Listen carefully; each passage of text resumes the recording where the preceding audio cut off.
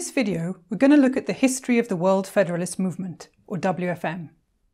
Today, WFM is a network of dozens of organisations in many countries of the world, all working to promote the idea of global democracy and world federation. Now, these ideas existed long before the creation of WFM. As far back as the mid 19th century, peace movements started to develop the idea that the best way to stop war was to create a legal structure above states through which they could solve their differences through non violent means. Instead of going to war, they could go to court. And many in the peace movement realised that if world law was going to become a reality, then it would require a world parliament to make this law and a world government to enforce it. And thus, in the early part of the 20th century, many of these peace movements started to also call for world government and world federation. However, at that time, peace was not to be, and in 1914 the First World War broke out. Afterwards, states came together and formed the League of Nations and the International Court of Justice, hoping that this would be sufficient to keep the peace. Many in the peace movement were convinced that this weak confederation of nations, with no ability to make world law and no real enforcement power, would not keep the peace for long. And so, throughout the 1920s and the 1930s, a growing number of activists and thinkers began to publish books calling for a world federation. And in the late 1930s, as the winds of war were beginning to rumble yet again in Europe, a number of organizations dedicated to promoting an inclusive world federation with a democratic federal world government began to form. One of the first was the Campaign for World Government, founded in the US in 1937 by feminist peace activists Rosika Schwimmer and Lola Maverick Lloyd. The following year, Federal Union was formed in the UK, and separate organisations with the same name were also founded in America and in New Zealand. World Federalist groups were also formed in several Scandinavian countries, and in the late 1930s they organised the first inter Nordic meeting on World Federation in Sweden. And after the Second World War started, more and more organizations were formed calling for world federation. In 1940, the Mouvement Populaire Suisse en faveur d'une fédération des peuples was formed in Switzerland, and the World Federalists were established in the US. In 1942, 15 year old Harris Wofford set up the Student Federalists, again in the US. In 1946, Een Verden, meaning One World, was formed in Denmark, and other World Federalist organizations were set up in Canada, Ireland, France, Australia, Southern Africa, India, and Argentina, and others. When the Second World War finally came to an end in 1945, there was a huge surge of interest in the idea of world federation. The shock of the scale of death and destruction in the war, and the creation of the atomic bomb and its deadly use against Japan, made many people think that another world war simply could not take place. And thus the question of how to organise the world so that countries could sort out their differences in a non violent manner was very high on the agenda, both among politicians and among the ordinary public. In 1945, shortly after the bombing of Hiroshima, the University of Chicago in America had set up a committee to frame a world constitution, including leading professors from across the social sciences they felt that it was imperative to act quickly to make sure that war could never happen again. They were very much against the United Nations, which had just been formed and which they saw as just another powerless league, really like the League of Nations. They thought that it was impossible to reform the UN into a real federation because the basic structure was all wrong. Instead, they thought that a totally new form of world order was needed, and they thought that between them, they had the intellectual strength and leadership to lead the way. And thus they sat down and started working on drafting a world constitution for a future federal world government. And in 1947, on the other side of the Atlantic, British Labour Party MP Henry Usborne set up the All Party Parliamentary Group on World Government, which at its peak had around 200 members from the House of Commons and the House of Lords. These statesmen felt the very real need to create a higher power above the states that would settle disagreements between them by non violent methods and thus avoid another war. So, this was a really real and serious issue at this time. In 1947, several World Federation activists decided the time was right to bring together the various World Federation organizations so that they could work together in a concerted effort to really bring about a World Federation and a world government in the next few years. They decided to organise a conference which would take place in Montreux, in Switzerland. The British Federal Union took the lead in organising and sent out invitations to the hundred or so World Federalist organisations that they knew of, mainly in Europe and America, inviting them to come to Montreux and join forces. And in August that year, 51 organisations and many, many independent delegates indeed came together in Switzerland at the Montreux Congress. All in all, there were about 300 people from 14 countries, and about half of them were students. Messages of support were sent from a variety of important people, including Britain's Foreign Minister Ernest Bevin, Italian Foreign Minister Carlo Sforza, and of course, Albert Einstein. This was the Congress that founded the World Movement for World Federal Government, that would later change its name to the World Association of World Federalists and then again to the World Federalist Movement, or WFM. It also founded a student movement, the World Student Federalists. The discussions at the Montreux Congress were energetic and intense. The two key questions which dominated the discussions were what should the future world government look like, and how do we make it happen? There were two major views about what the future world government should look like. Most of the American delegates favoured a minimalist approach, in which the powers of the federal level of world government would be limited only to security issues, while most of the European delegates preferred a maximalist approach in which the federal level of government would also deal with socio-economic issues. The Americans wanted to focus on security, while the Europeans also wanted to deal with justice. There was also a divide in views about how best to get there. The Americans favoured a gradual and incrementalist approach of reforming the United Nations. The UN was still very new then, and there was a Charter Reform Conference scheduled for 1955, and the Americans favoured drawing up proposals and lobbying politicians in order to achieve change which would lead the UN in the direction of becoming a world government. Most of the Europeans, on the other hand, thought that the UN was fundamentally the wrong organisation, and that instead a new world government had to be created from scratch. They suggested holding a World Constitutional Convention to draft a world constitution, which they believed could be drafted, amended, and ratified within a few years so that the new world government would be in place by 1955. Another group believed that the best route to a world federation was through the formation of regional federations. They thus felt that it was important to devote energy to the fledgling unification process that was beginning to start in Europe, and to push for the creation of a European federation. And so they set up the Union of European Federalists.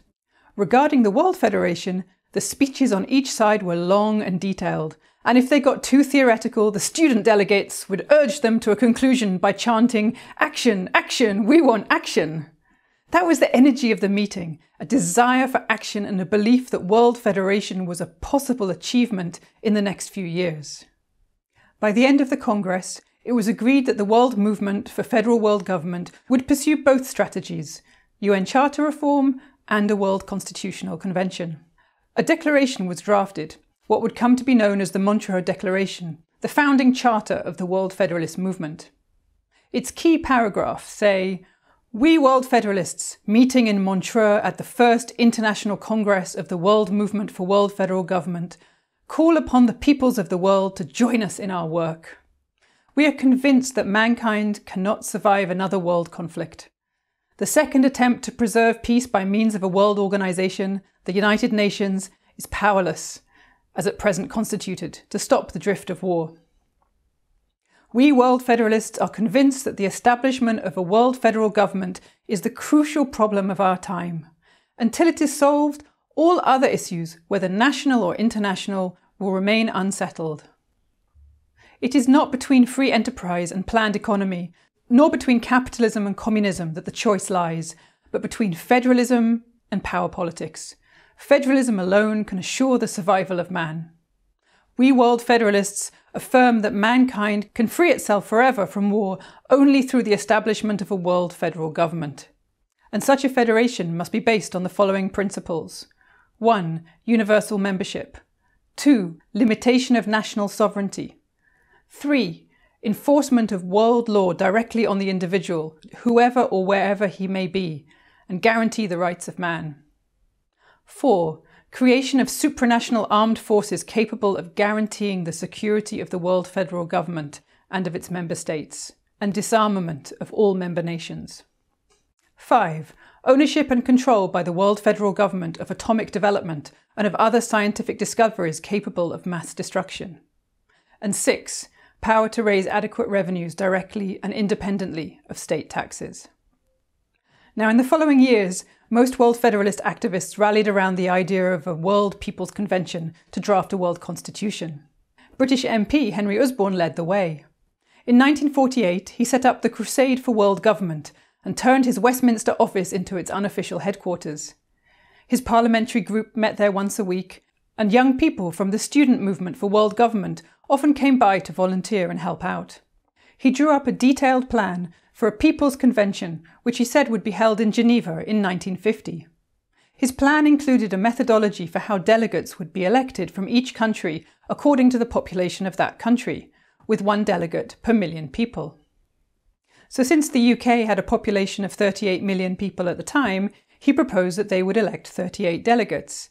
And he made plans for an unofficial election to be held, modelled on the peace ballot of 1934, when activists had organised an unofficial vote to gauge if there was support for the UK to remain in the League of Nations.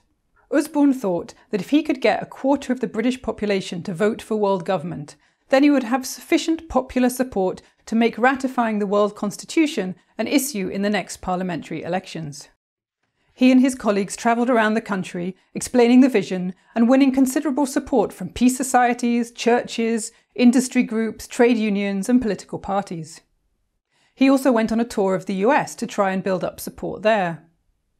While the United World Federalists, the largest World Federalist group in the US, favoured UN reform over the World People's Convention approach, other more radical groups supported him, including the Campaign for World Government, World Republic, the Chicago Committee, the student groups, and so on. He organised a conference in Pennsylvania where participants discussed the pros and cons of his idea and tried to work out the method by which the US would elect delegates to the People's Convention. One of the lead activists in America who supported a People's Convention was historian and classics professor Stringfellow Barr. He suggested that it was important to include people from a wide range of countries in the People's Convention, not just from Western countries. In particular, he thought that Nehru, now Prime Minister of independent India, should be involved. Nehru had spoken publicly about his support for the idea of a world federation, which he called One World, and he had recently met with American World Federalist Edward Clark, and he'd also spoken enthusiastically about World Federation on the University of Chicago radio. Barr thought that Nehru could lead a group of newly emerging post colonial countries to support World Federation and to send delegates to the People's Convention. Usborne, who had himself been born in India, and was well aware of Nehru's views on world federation, heartily agreed, and he wrote to Nehru about the People's Convention idea. And Nehru was cautiously supportive. He'd read many of the Western proposals for world government, and he knew that some of them did not include the people of the colonies.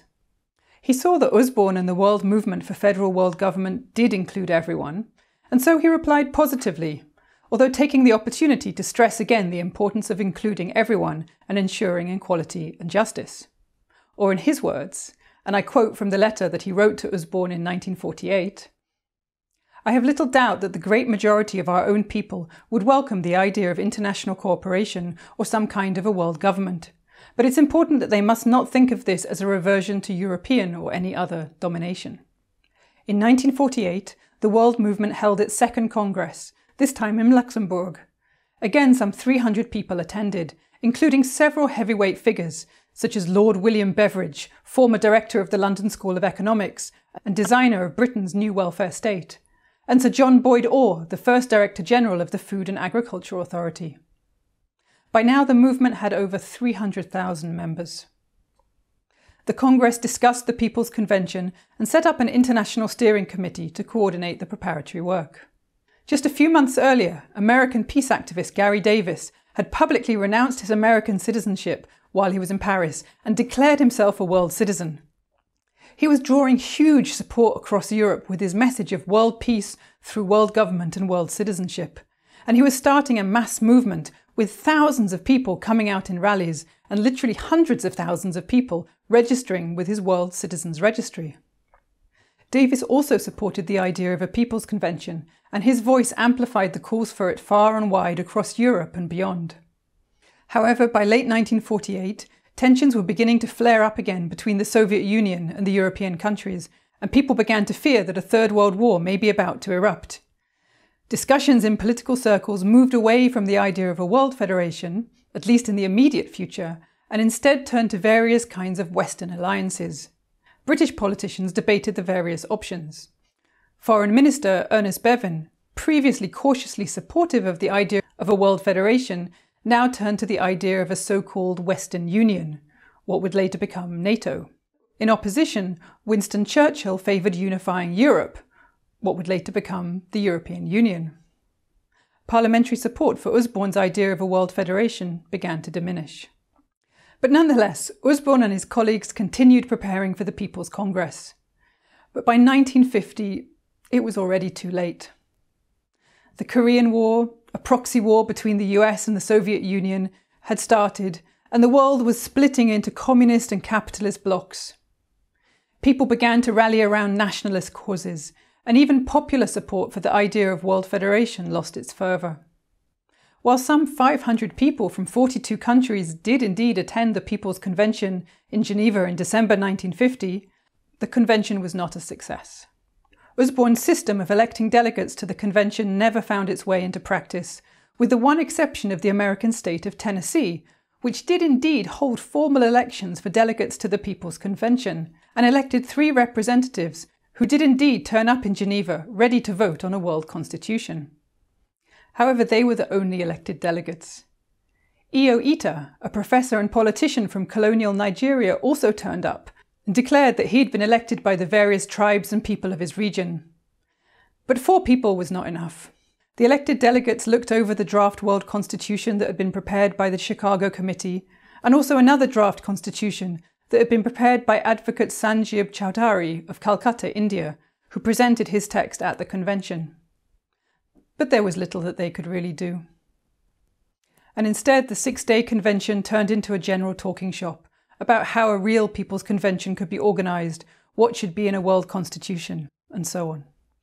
But by now, the world had changed, and the plausibility of states ratifying a world constitution in the coming years now seemed remote.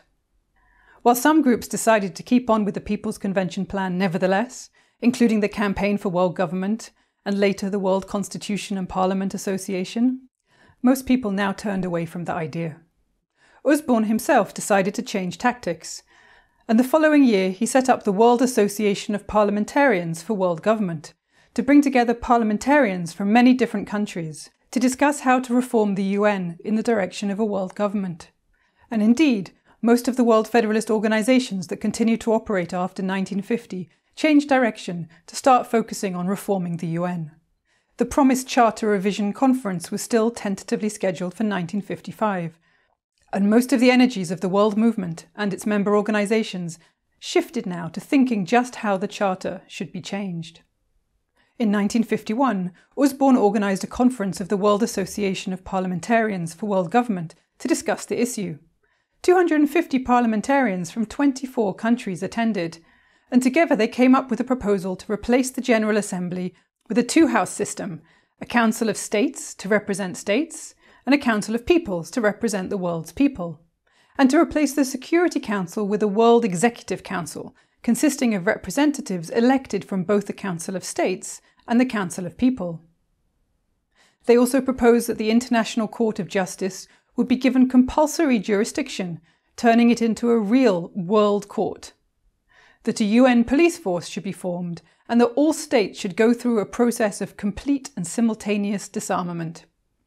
This was essentially a minimalist approach that would create a very thin layer of federal world government that would deal with security issues.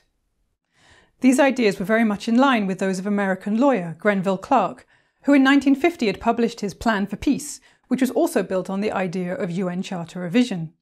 He later developed his ideas further with Harvard professor Louis Sohn, and together they published Peace Through Disarmament and Charter Revision in 1953, and then later in 1958, World Peace Through World Law. all these ideas flowed into the movement. And in 1953, the World Association of Parliamentarians for World Government and the World Movement for Federal World Government held a joint congress in Copenhagen, and together they decided to focus on the UN reform plan. They adopted the plan of the parliamentarians and agreed to work to lobby their governments to support the plan when the Charter Review Conference would finally take place. The movement was again energised because they had a clear plan of action. In 1955, the 10th General Assembly of the UN agreed that there was indeed a need to review the Charter, and they nominated a commission which was charged with presenting a report to the General Assembly in 1957. The World Federalists stepped up their efforts to win support for their plan. But 1957 came and went, and still no Charter Review Conference was scheduled. The movement carried on in hope, because surely it would happen any year now. The discussions also began to broaden out. The world was changing. European empires were disintegrating, and colonies in Africa and Asia were becoming independent states. The world movement started to discuss decolonization and also issues of poverty and development. They proposed the establishment of a World Development Authority and a fund for economic development. At the Hague Congress in 1957, Komla Agbeli Gbedemah, the finance minister of newly independent Ghana, was elected as the movement's president. Gbedemah had been involved with the movement and also with the World Association of Parliamentarians for World Government since the early 1950s, and he strongly supported the idea of UN reform. This marked the beginning of a short period in which the world movement began to diversify beyond its predominantly European and American membership and began to reach out to peoples in the newly emerging countries in Africa and Asia as they began to think more broadly about world justice issues, and particularly about the colonial and post colonial world order, many world federalists at this time thought that they would find allies and supporters in the newly emerging states in Africa and Asia, as these poorer and weaker states would have much to gain from a world order in which power politics would be subordinated to international law, and in which greed would be subordinated to justice. And as these new countries joined the UN, they reasoned, they could form a third bloc separate from the American bloc and the Soviet bloc, and they could have a real impact in shifting the UN in the direction of a democratic world government. A few months later, a regional congress was held in Kyoto, Japan. The Union of World Federal Government had been established in Japan in 1948, on the third anniversary of Hiroshima, and several of its members had been attending the World Movement's congresses since then. This regional congress focused almost entirely on the issues of ending colonialism, cooperation among the peoples of Africa and Asia, and economic development. Plans were laid to establish new World Federalist organizations in a range of countries, including Ghana, Senegal, Nigeria, and Sierra Leone. Over the next few years, more and more delegates from African and Asian countries started to attend the World Movement's congresses. And the discussions focused increasingly on decolonization and economic development, and the changes needed in the UN to bring this about. The 1961 Congress, held in Cologne, included delegates from Pakistan, India, Vietnam, Japan, Cameroon, Congo, Ivory Coast, Tunisia, Senegal, Nigeria, Sierra Leone, Egypt, and several countries in Latin America. Leopold Senghor, president of the newly independent Senegal, attended and was elected as vice president. Japanese Nobel Prize winning physicist Hideki Yukawa was elected as president. The movement was changing. While the UN Charter Review Conference never, in fact, took place, in 1963 a small number of charter reforms were, in fact, agreed by the UN General Assembly. In order to accommodate the growing number of newly independent African and Asian states that were taking up their seats at the UN, the Security Council was expanded from 11 to 15 members, and the Economic and Social Council, ECOSOC, was expanded from 18 to 27 members. Whilst important, these changes were so small that to many it finally became clear that changing the UN Charter in any significant way was by now extremely unlikely. And thus the energy for UN reform began to run out. Many of the African and Asian delegates who had been attending the World Movement Congresses began to drop out. They saw more potential to effect change in the UN through direct political channels, such as the G77 or the non aligned movement, which united the developing countries to vote together as a bloc in the UN. And indeed, in the late 1960s and early 1970s, these movements developed an outline for a new international economic order, which sought to offer more opportunities to the developing countries and to even out the unfair existing international order. By then, they formed a majority in the General Assembly, and they managed to vote through their declaration. But then the real weaknesses of the UN system became clear, because the rich countries simply ignored it. Most of the European and American world federalists also came to the realization that UN Charter reform was now unlikely. The Youth and Student Division called for a shift in strategy. It was time to move away from the legalist approach of UN reform, they argued, and time to focus on more immediate world problems, such as securing human rights, improving East West relations, working for international arms control, reshaping the world's economy, and preserving the environment. And thus, starting from the early 1970s, the movement again started to change and shifted to focus its efforts on issue specific goals. They called their new policy Dynamics for Peace. In certain respects, their approach was broader than the UN reform approach, they wanted more of a maximalist approach, focusing on justice and not only on security. But they lacked a clear vision of how world federalism would deal with these issues, and indeed how world federalism would be brought about. And thus they fell into just trying to tinker with the existing international order to try to achieve some small improvements here and there. While this might have seemed more practical and realistic, it meant that the movement had basically lost its fundamental raison d'etre. Instead of talking about structural change to the world order, it just got bogged down in a whole variety of discussions about small improvements to specific issues. There were many other NGOs talking about how to make these types of small improvements, and the World Federalists basically lost their identity and their core message. Numbers dwindled as members left the movement to pursue other avenues. But a small group continued on, some were waiting for the political situation to change so that they could start again calling for world federation. And others were content to engage in countless discussions about world improvement projects. There were, of course, many activities, including the creation of the Institute of Global Policy as a think tank to advance education about global issues and world federation. But in all honesty, this was a low point for the movement. However, by the 1990s, the political situation did indeed start to change. In 1989, the Berlin Wall came down and the Cold War finally came to an end. The world was no longer divided into two separate blocks with two competing ideologies. Instead, all the countries were now taking part in the capitalist world economy. American political scientist Francis Fukuyama called it the end of history. In the coming years, it came to be known as globalization. Suddenly, it was indeed possible to imagine a unified world energy and enthusiasm began to return to the world movement. Furthermore, the 1980s had witnessed a major transformation of civil society. Many largely voluntary social movements had professionalized and transformed into NGOs, non governmental organizations, with paid staff and offices and large grants from philanthropic or government donors. WFM decided to follow this route. In 1994, Bill Pace was hired as the executive director. A new office was established in New York, close to the UN. Grants were sought, and a new strategic approach was agreed. WFM would now work with networks of other NGOs about specific issues with the aim of getting new institutions created at the global level, which would improve the governance of global issues. Pace had attended the Earth Summit in 1992 and he thought that global environmental governments would be the area where there would be most support for new institutions.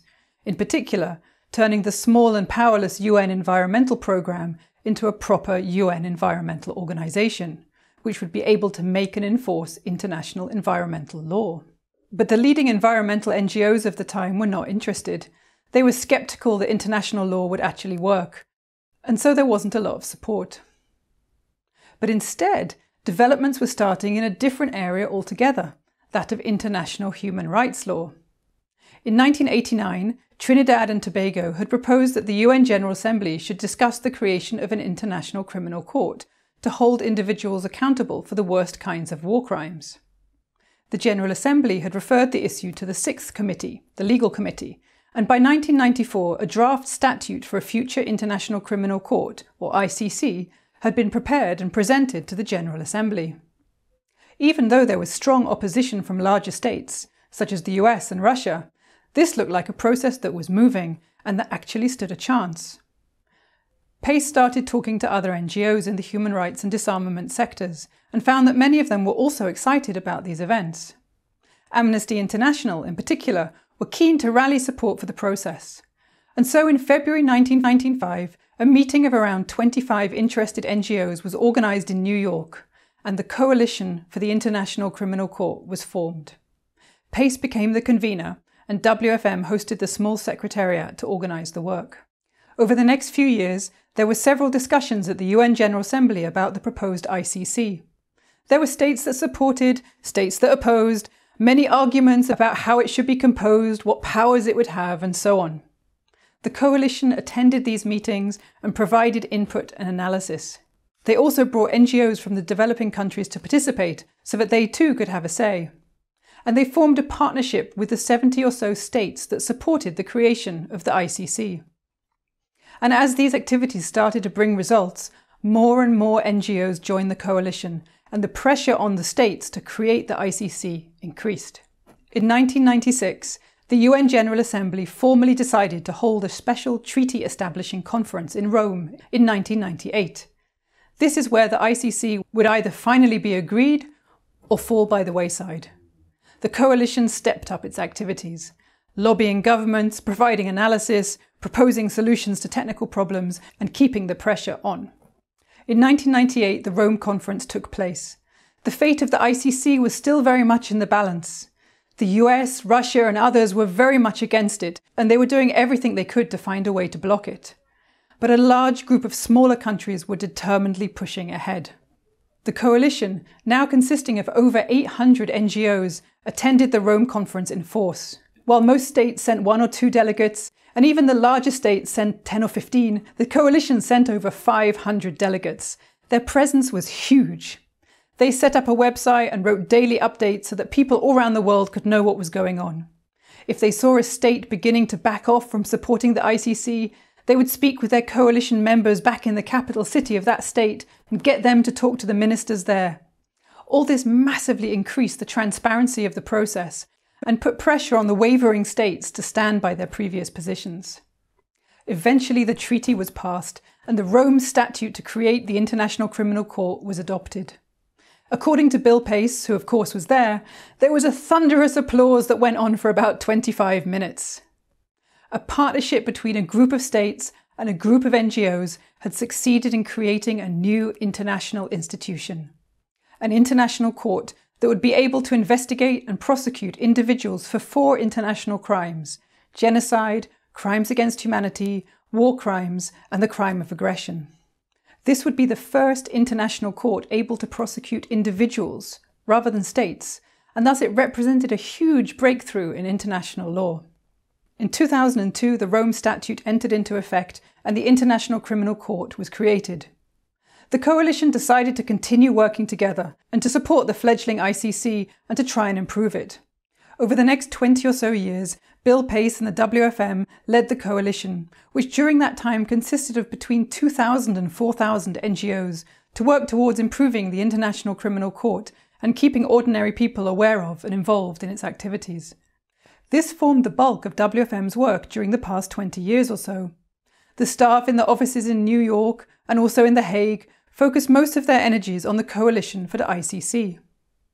They also carried out some smaller projects, such as leading the NGO working group on the Security Council, which sought to improve the UN Security Council and make it more transparent.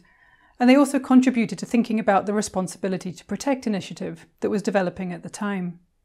And while WFM became a well known and well respected NGO in New York, a disconnect began to develop between the NGO part of WFM and the movement part of it.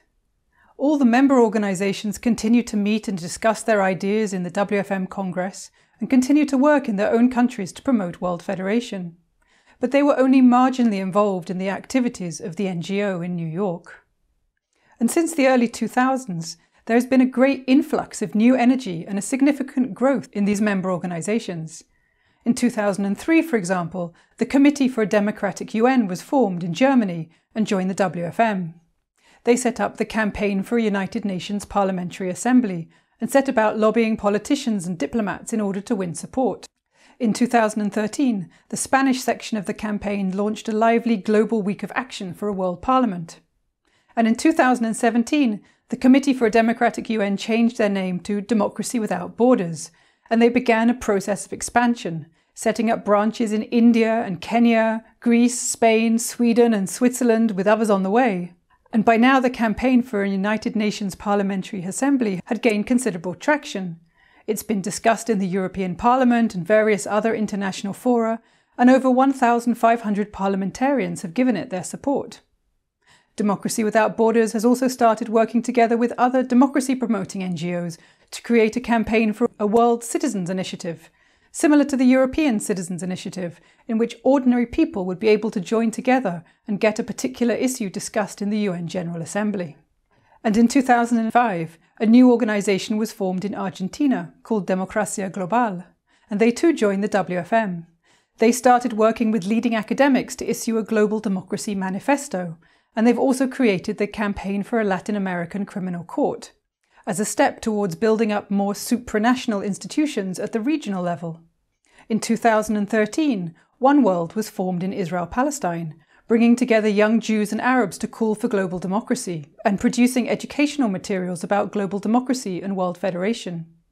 And in 2014, Professor Joseph Schwartzberg, Emeritus Professor at the University of Minnesota, set up the Workable World Trust to support activities focusing on UN reform and on global democracy more generally. And in 2019, the young world federalists burst onto the scene, bringing new youthful energy to the movement, engaging on internet platforms and social media, and rallying millennials and Generation Z to the cause of world federation. So, as we can see, the World Federalist movement has changed many times over the years, responding to changes in world events by developing new ideas and new strategies.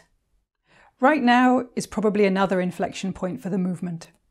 Bill Pace has retired, and the leadership for the Coalition for the International Criminal Court has been passed on to another NGO. There is a new leadership, a new energy, and a desire for new directions. In today's highly globalized world, it is now very much possible to imagine a unified world, a world federation with global democracy and global citizenship. The problems with the existing international world order are becoming increasingly visible to everyone. A retreat to nationalism does not seem likely or desirable. So now, finally, it may be the right time for WFM to start again the push for world federation and global democracy.